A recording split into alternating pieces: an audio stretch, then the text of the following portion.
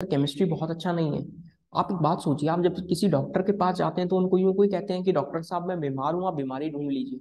ऐसा नहीं करते ना, आप उन्हें यही बताते हैं कि पेट दर्द है, गले में दर्द है, सिर दर्द है, फिर वो उसके कॉरस्पॉन्डिंग आपको दवाई रिकमेंड करते हैं। ठीक इसी तरह आप अपने पूरे सब्जेक्ट पे बिल मत फाड़ो। आप क्या करो? आप उस वीक सेगमेंट को फाइंड आउट करो।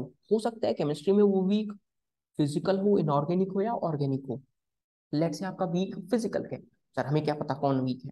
आप एक पेपर लगा लीजिए रैंडम जेई मेंस और नीट का। आपको पता लग जाएगा आप किस सेगमेंट के क्वेश्चंस कम बना पा रहे हैं। वो आपका थोड़ा सा वीक है। उसको इम्प्रूव कैसे करना है? उसको इम्प्रूव करने का एक ही सेगमेंट है, एक ही इंपॉर्टेंट उपाय है क्या? आप ज़्यादा से ज़्यादा क्वेश्चंस को बनाइए। आप ज़्यादा से ज़्यादा क्वेश्चंस को बनाएँगे, आपका सब्जेक्ट इंप्रूव हो जाएगा, वो सेक्शन इंप्रूव हो जाएगा।